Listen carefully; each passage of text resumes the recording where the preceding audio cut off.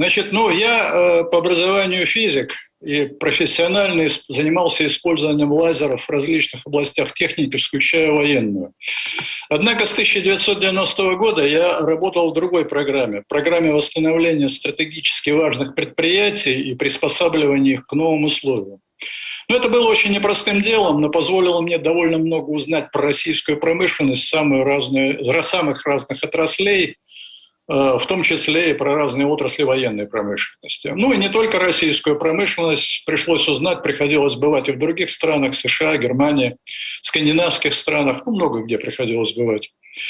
Вот, и поэтому, когда в 2014-2015 году началась фактическая война с Украиной, Крым наш и все остальное, зная структуру нашей оборонной промышленности, я пришел в ужас и написал для новой газеты статью, которая называлась «Так кто из нас за сильную Россию?», где попытался объяснить, какие угрозы представлял для российской страны полный разрыв с украинской частью советского ВПК. А в украинской части советского ПК было столько предприятий, что вы себе даже представить не можете. Вот. Хочу, правда, сразу же пояснить, что все мои выводы базируются на открытых источниках информации. Я не раскрываю никаких государственных тайн. Так вот, после э, вот этого вот э, события было поставлено под угрозу обслуживание самых мощных российских ракет. Это Р-36М2, которые конструировались и производились в КБ Янгеля на Украине. Это КБ «Южное» производились на заводе «Южмаш». Это то, что э, Америка знает как ракеты «Сатана».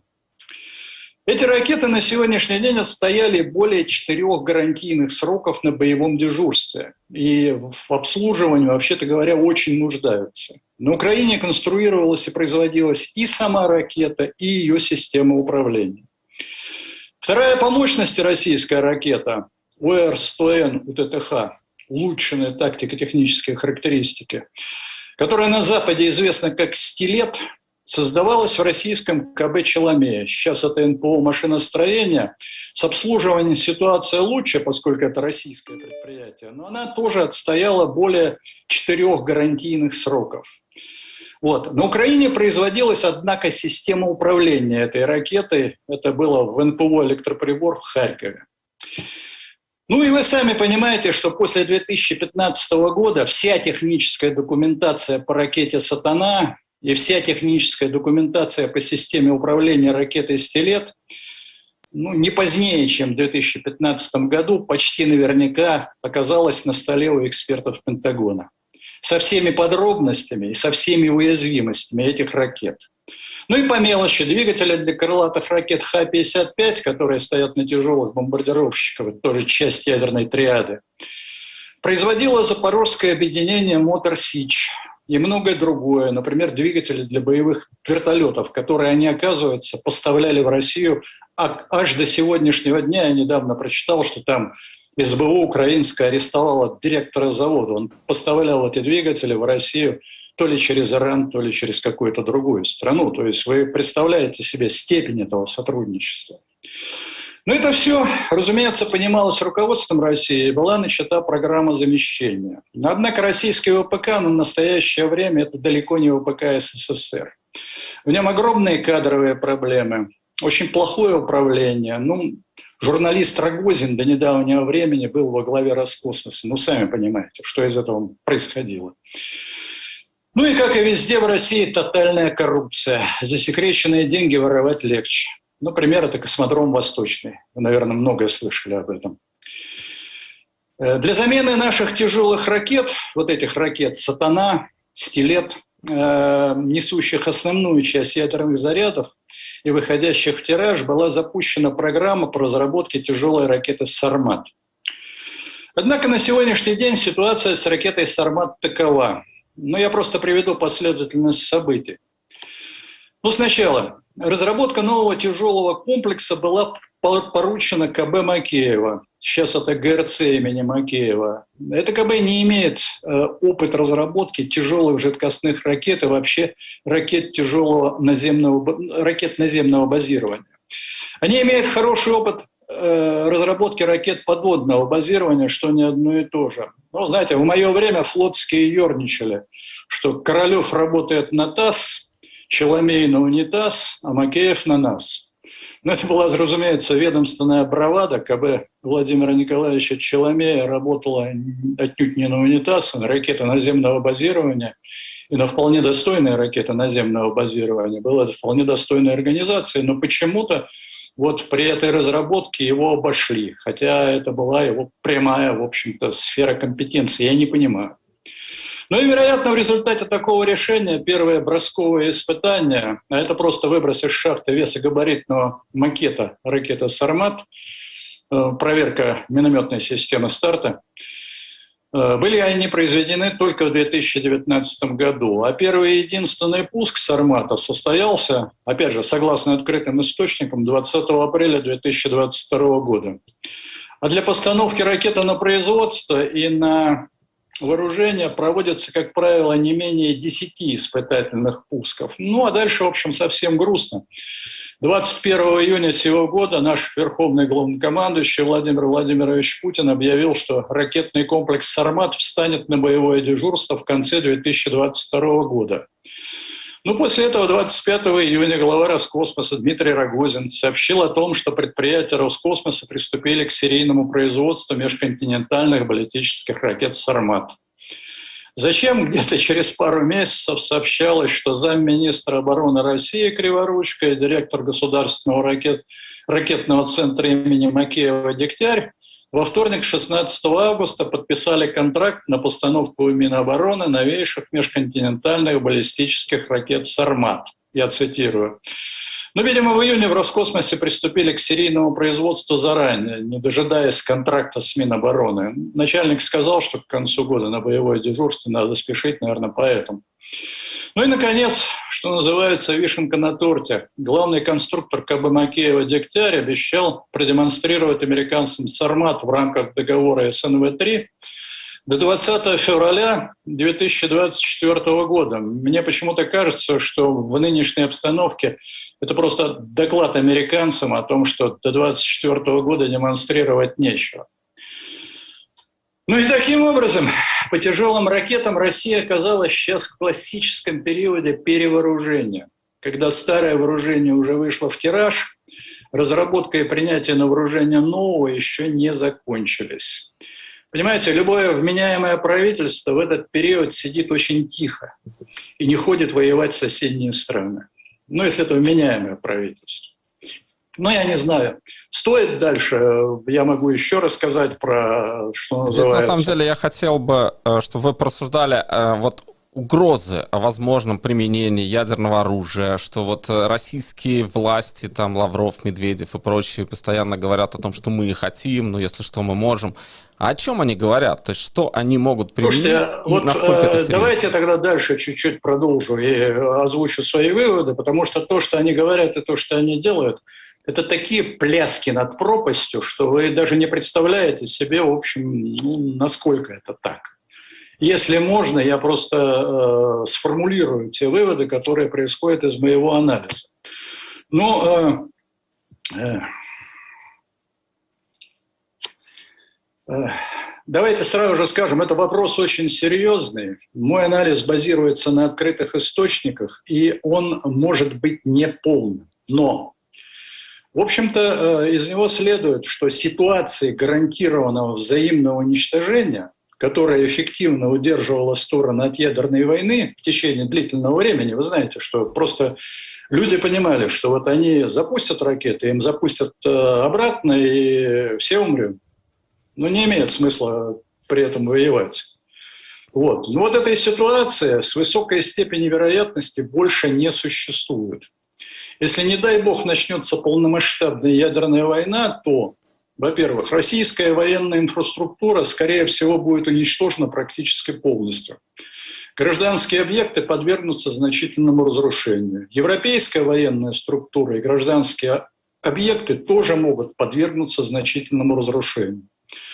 Вот. разрушение американской военной инфраструктуры и американской территории не будут носить критического характера.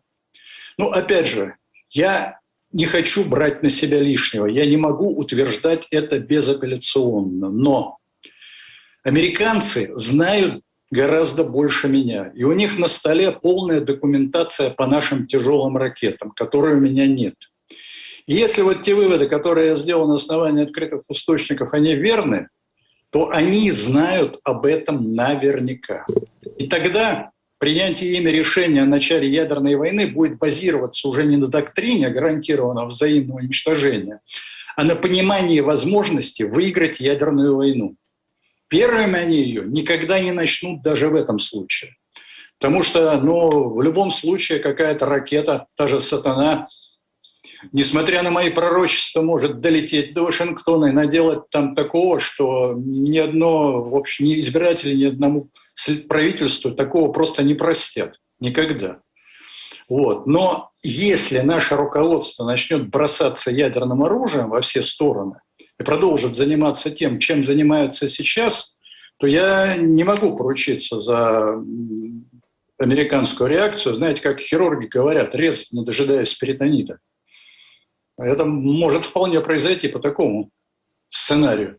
Понимаете, вот серьезные люди, у меня друг, профессор э, одного из английских университетов, он занимался профессионально, в общем-то, историей Карибского кризиса, у него есть хорошие статьи на эту тему, он сейчас говорит, что сейчас ситуация хуже и опаснее, чем в Карибском кризисе. Ну и вот недавно вышла статья, по-моему, Радченко и Нина Хрущева, вот, на эту тему, в которой говорится то же самое. И, ну, есть много, что называется, факторов, которые позволяют бы, ну, которые, из-за которых надо серьезно напрячься.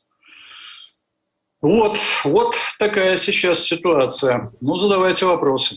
Но здесь интересно, вот вы упомянули Карибский кризис, но там, как мне кажется, было несколько факторов. Первый э, это то, что Хрущев и Кеннеди, э, они видели войну, и они все-таки хотели договориться, по крайней мере, так говорят многие исследователи. Второй фактор, что все-таки Карибский кризис длился всего 13 дней, и они смогли договориться за достаточно короткий срок. Мы видим, что э, ситуация в Украине и риторика вокруг ядерного оружия и возможности применения ядерного оружия длится уже месяцами. То есть фактически с начала войны э, Путин заявил о приведении в боевую готовность сил сдерживания, и дальше началась уже риторика о возможности ядерной войны.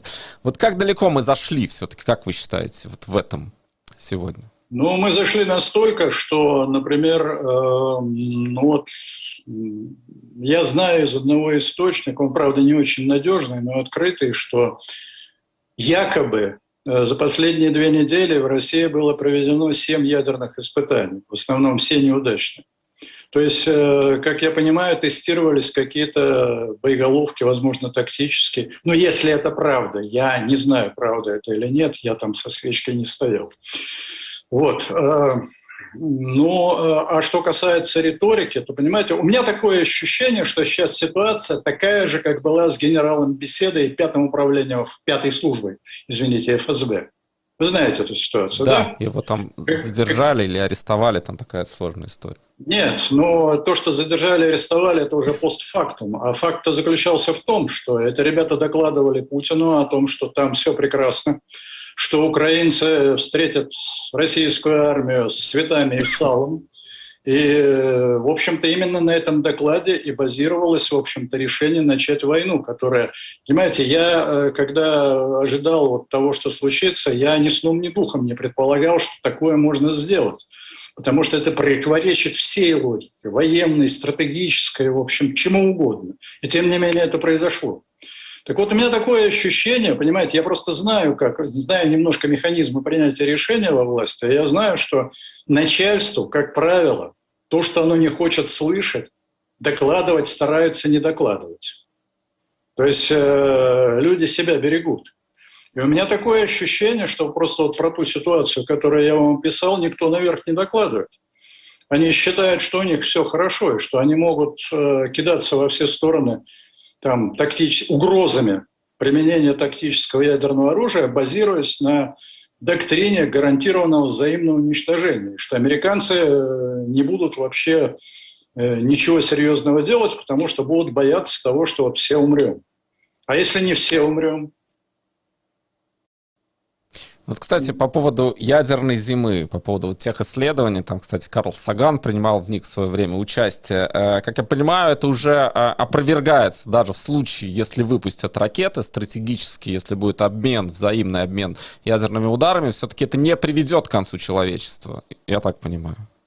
Ну вот э, по в настоящем случае это не приведет к концу человечества, по крайней мере, на американском континенте. Но если верить, опять же, моим расчетам, я опять же говорю вам, что я не, это слишком серьезный вопрос, чтобы э, там безапелляционно что-то утверждать.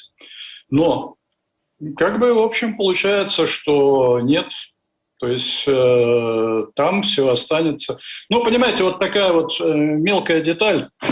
Извините, я уже войду э, еще в подробности. Э, у американцев основная часть ядерных зарядов сосредоточена на подводных лодках. Это Агая, ракета Трайден-2. Вот. И чтобы э, противодействовать этим лодкам, нам нужно стрелять не по американской территории, нам нужно стрелять по просторам Мирового океана. Как вы понимаете, это многое меняет. Ну, просто мелкая деталь, это можно подробно все разбирать, но, э, тем не менее, в общем-то. Я полагаю, что э, вот если начнется ядерная война, то, ну, скажем так, вот то, что Россия будет уничтожена, у меня сомнений нет. То, что Европа очень сильно пострадает, у меня тоже сомнений нет, потому что, опять же, ракет, ну, радиуса действия до 5000 километров у нас достаточно. И по европейским центрам э, ядерного базирования, поэтому всему нанести удар можно достаточно элементарно. А вот что касается американской территории, ну это вопрос очень непростой. Понимаете, э, у нас, господи, но э, вы знаете, если вы знаете электронную схему, которая схема управления ракетой, вы знаете все ее уязвимости. Существует же масса способов электронного противодействия. Там все очень сложно устроено. Это конструкция гораздо сложнее автомобиля. И э, там, э, в общем-то, можно, если вы знаете, ну, понимаете, если вы знаете уязвимые места противника, куда ему бить, вы находитесь в гораздо лучшем положении, чем ваш противник, который, чем э, ваш противник, который этого не знает про вас. Хорошо, еще один вопрос от наших зрителей. Система периметр. Э, это миф или реальность? Что об этом вообще это известно реальность. и как она это работает? Это реальность, это система так называемого, ну, система принятия, э, система, точнее, отдачи команд при условии, если командный центр подвергся разрушению. Ой. Командная ракета, которая стартует и дает команды при системе периметр, она, э, насколько мне известно, опять же, извините, из открытых источников и так далее, я не уверен в этом. Но это, это ракета УР-100 э, АН УТТХ, вот та самая ракета «Стилет», схема управления которой лежит на столе у американцев. Ну, так, в общем, на минуточку просто. То есть, условно говоря, когда Путин и там его генералы пугают, что если что, система периметр всех уничтожит, э, они тоже, получается, выдают желаемое за действительное, потому что система периметр может не сработать, в конце концов. Или ее можно подавить? Вероятность этого очень высока. Я бы не стал э, утверждать это с стопроцентной уверенностью, но вероятность этого очень высока. Ну и понимаете, даже если сработает система периметр, то э, значит, не факт, что взлетят те ракеты, которым будет отдан приказ пуска. Во-вторых, ну опять же, я не держал в своих руках документацию по системе периметр. Я могу только догадываться о определенных вещах. Понимаете, на самом деле э, любой старт э, ядерных, ядерной ракеты, он производится по системе нескольких ключей. То есть один человек не может принять это решение, это должно быть одновременное решение нескольких человек. Если есть система, которую можно включить, минуя э, вот, это вот, э, вот эти вот решения, то вообще говоря, получается, что система двух ключей, ее просто не существует. Поэтому я, в общем-то, сильно сомневаюсь, что такая система есть, потому что если вот есть в, любом, в любое время есть возможность ее включить, то системы э, контроля за пуском ядерных ракет ее просто не существует. Если человек, находящийся наверху, хочет это включить, он в любой момент включает систему периметр и начинает единолично управлять этим процессом. Но Значит, скорее всего, этого э, на практике нет. Скорее всего, система периметра, она все-таки тоже включается как-то несколькими людьми и имеет какие-то степени защиты против этого. Поэтому я думаю, что все это, в общем-то, ну, некий блеф, что ли. Или блеф, или незнание, понимаете, как в случае генерала Беседа. А на ваш взгляд, вот э, если мы говорим о э, ядерных зарядах, ну вот там есть э, водородные бомбы, есть классические ядерные заряды. Вот в чем отличие? И еще сразу э, добавлю к этому вопросу еще один. Вот Путин говорил, у нас есть что-то такое, чего нет ни у кого. Ну и, конечно, намекая на ядерное оружие. Какой потенциал вообще существует, вот э, если просто порассуждать, вот о чем он может говорить, что есть еще в э, линейке ядерных зарядов, что вот может впечатлить кого-то, там, например, американцев? Не понимаю, что там может впечатлить кого-то, потому что это все, в общем-то, ну, для профессионалов давно известно. И мне кажется, что это, знаете, такой, ну вот, вот у меня в руке такая дубина, такая дубина, что никого, никто такой дубины никогда не видел, и не имел. Ну, а на самом деле там, в общем-то, ничего нет. Ну, понимаете, вот это вот, если вы имеете в виду, например, эту подводную лодку «Посейдон», ну, разрабатывались в свое время такие устройства. И... Но опять же, это все... Подводные лодки сейчас очень хорошо отслеживаются. Есть системы, системы отслеживания по аномалиям и э, другие системы, я не буду вдаваться в детали. Вы это можете отследить, если захотите. Насколько я знаю, у американцев такие системы есть. Вот. И, э, ну, ну, по-моему, по-моему, опять же, самое вероятное, то, что случится ситуация, как случилось, извините, с нашей армией в Украине, ну, когда произошло то, что произошло. Еще один вид оружия, вы как раз специалист по лазерам, это то, что Путин называл пересветом, лазерное оружие. Насколько у российской армии развиты эти технологии и что может сегодня ядерное оружие, насколько это разрушительное средство? Лазерное или ядерное? Ядерное может много лазерное. Я как раз здесь про лазеры э, переключился, поскольку лазеры это ваша специализация в том числе. И Путин говорил про пересвет, если не ошибаюсь, у него есть. Слушайте, честно говоря, если такое что-то было, это мимо меня прошло, я не знаю, где это разрабатывалось. Вот. А что касается лазерного оружия, то как оружие, ну, это, в общем-то, скорее легенда, чем реально существующие вещи, понимаете. Лазерные системы наведения, лазерные гироскопы, э, ну, скорее, вот, вот эти вот вещи, они реально работают, это очень серьезные вещи. Э, лазерные системы в свое время были обработки информации. Ну, вот они тоже давали большие возможности. Правда, потом это направление, оно, насколько я понимаю, закрылось. Вот. Но лазерного оружия для поражения противника, которое могло бы сравниться с ядерным оружием, его просто не существует, потому что несоизмеримые вещи. Ну, делались какие-то, так сказать, боевые лазеры для в основном, чем, они, чем эти разработки определялись? Лазерное оружие, оно, безинерци... оно не инерционное. То есть вы, вам, э, вы навели луч на цель, и она, если у вас хорошая энергия луча, она мгновенно уничтожилась. Она Ей не надо, как ракете, петлять, от нее нельзя уйти от этого луча. То есть это, в общем, гарантированное сбитие. Но, э, во-первых, э, такие большие лазеры, это, извините, с собой надо электростанцию возить. А этого никто делать не будет на поле боя. Вот. Ну, а во-вторых, они довольно уязвимы. Это же, в общем-то, оптическая конструкция, там зеркала, там, в общем-то, очень чувствительные элементы.